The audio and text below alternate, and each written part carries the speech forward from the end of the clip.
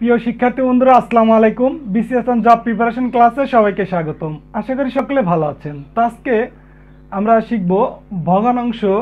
আমাদের এরকম প্রশ্ন আসে যে নিচের কোন ভগ্নাংশটি ক্ষুদ্রতম? তো এই ভগ্নাংশ কোনটি ক্ষুদ্রতম বা বৃহত্তম, কোনটি ছোট, বড় এ যে প্রশ্নগুলো আসে, এগুলো আমরা কীভাবে খুব সহজে শর্টকাট সময়ের মধ্যে সমাধান করা যায়, আজকে আমরা সেটাই আলোচনা করব। তো দেখুন, আমি এইখানেই আজকে আমি যে ফর্মুলায় এই ভগ্নাংশগুলো নির্ণয় করব, এটা আমার কাছে সবচেয়ে ভালো এবং সুন্দর পদ্ধতি বলে আমার মনে হয়। কারণ অনেকভাবেই ভগ্নাংশ নির্ণয় করা যেতে পারে। তো সেক্ষেত্রে আমার মনে হয় এটাই বেটার পদ্ধতি। তো আপনারা যদি এই নিয়ম অনুসরণ করেন, তাহলে আর কোনো নিয়মের দরকার হবে না, আমি মনে করি। তো এইখানে দেখুন, আমি একটা, আমি যে সূত্র বা ফর্মুলায় এই ভগ্নাংশগুলো নির্ণয় করব। তো সেটা আমি এখানে লিখছি। এখানে লিখছি লব, এখানে লিখছি হর, আবার লব, হর। তো এই লব আর এই হর গুণন, এই লব আর এই হর গুণন। তো আমরা প্র্যাকটিক্যালি করি, দেখি। দেখুন, আমাদের প্রথম প্রশ্নটাতে দেওয়া আছে, নিচে কোন ভগ্নাংশটি বড়? আচ্ছা তাহলে আমরা প্রথমে করব কি, এই এইটা আর এটা গুণন করব। অর্থাৎ এই থ্রি আর এই সেভেন গুণন করে এই পাশে লিখব। তাহলে তিন সাতটা একুশ, আমরা এখানে একুশ লিখলাম। আবার এটা এটা গুণন করব। তাহলে দেখুন পাঁচ পাঁচ আর পাঁচ গুণন করলে হয় পঁচিশ, আমরা এই পঁচিশটা এই পাশে লিখব। তাহলে এখানে আমাদের চাইছে ভগ্নাংশ, বড় ভগ্নাংশটা নির্ণয় করতে বলছে। তাহলে একুশ ছোট, পঁচিশ বড়, তাহলে আমরা এই অপশনটা বাদ দেবো যেটা হবে না। আচ্ছা তারপরে দেখি আবার এটা আর এটা গুণন করব। তাহলে চার পাঁচা কুড়ি এখানে লিখলাম আর সাত দুগুণা চোদ্দ এখানে লিখলাম। তাহলে দেখুন যে আমাদের এটা হচ্ছে না, এটা বিশ আর এটা হচ্ছে চোদ্দ, তাইলে এটা বাদ। তো এইবার আমরা এটা দিয়ে এটাকে গুণন করব, অর্থাৎ এই আটরে গুণন করব। তাহলে পাঁচাশটা চল্লিশ, লিখলাম এখানে চল্লিশ। আর ছয় সাথে বিয়াল্লিশ।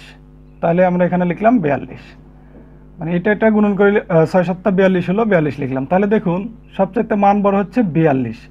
অর্থাৎ আমাদের অপশন ক নাম্বারটা হবে কারেক্ট ঠিক আছে? তো আমরা সিম্পলভাবে যদি নিচেরটাও সমাধান করি, দেখুন, নিচের কোন ভগ্নাংশটি বৃহত্তম? তো এইখানে আমরা সেমভাবে গুণন করব। সাত দুগুণা চোদ্দ, লিখলাম চোদ্দ, তিন পাঁচা পনেরো, লিখলাম পনেরো। তাহলে এখানে বড় কোনটা? বড় হচ্ছে পনেরো। তাহলে আমাদের এই অপশন হবে না।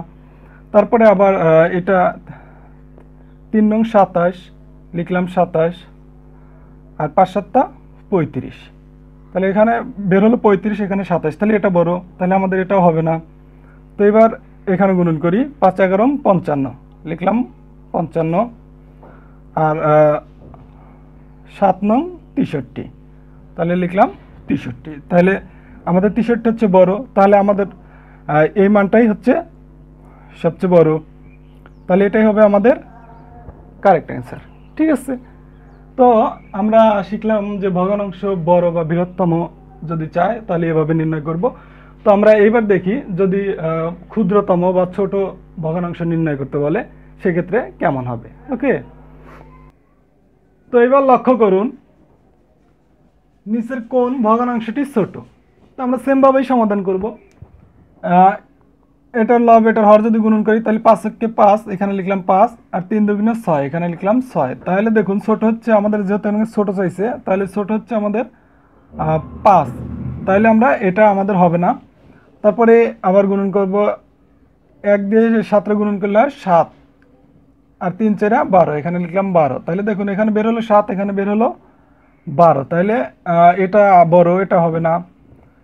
তারপরে আবার এক দিয়ে যদি নয় রে গুণন করা যায়, তাহলে হয় নয়। এখানে নয় লিখলাম। আর তিন দিয়ে পাঁচ রে গুণন করলে তিন পাঁচা পনেরো, এখানে পনেরো লিখলাম। তাহলে দেখুন, এখানে বের হলো পনেরো, এখানে বের হলো নয়। তাহলে এটাই ছোট, তাহলে এটাও হবে না। তাহলে আমাদের কারেক্ট অ্যান্সার হবে অপশন ক নাম্বারটা, ঠিক আছে? তো সেমভাবে যদি আমরা পরেরটা সমাধান করি, দেখুন, নিচের কোন সংখ্যাটি সংখ্যাটি ক্ষুদ্রতম। তো সেমভাবেই করব। দুই দিয়ে যদি চারে গুণন করে চার দুগুণা আট, এখানে আট লিখলাম। আর তিন এককে তিন। এখানে লিখলাম তিন।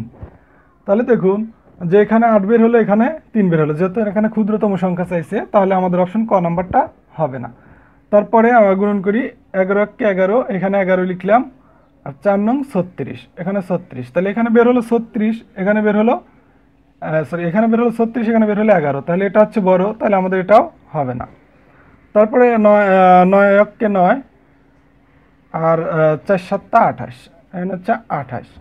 তাহলে দেখুন, এখানে বের হলো নয়, এখানে বের হলো আঠাশ। তাহলে আঠাশ হচ্ছে বড়, তাহলে এটাও হবে না। তাহলে আমাদের কারেক্ট অ্যান্সার হবে অপশন খ নাম্বারটা।